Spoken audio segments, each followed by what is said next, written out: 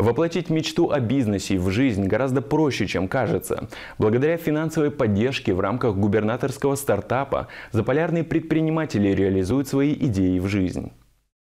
Проект «Мясорубка» из Мончегорска успешно развивается в Мурманской области. Его создатель открывает уже третий магазин, на этот раз в Оленегорске, предлагая покупателям мясную продукцию на любой вкус. Мы мясной магазин, у нас то есть, должен быть максимальный ассортимент мяса. У нас все, что только мы находим у поставщиков, мы сразу даем это, запускаем это, даем попробовать нашему потребителю.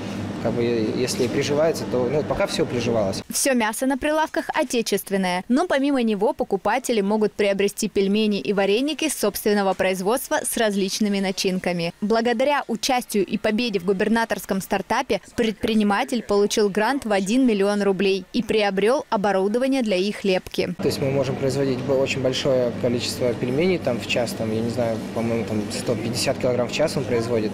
Э, это отдельный проект. Э, мы будем заходить в ритейл именно с, со своими пельменями. То есть для магазина нам достаточно и ручной лепки, да, но столько на ритейл не налепить вручную. В планах у предпринимателя развивать свой бизнес и в Мурманске. Используя такие меры поддержки, этого добиться гораздо проще. Денис – отличный пример предпринимателя, который использует санкции для развития, продвигая импортозамещение.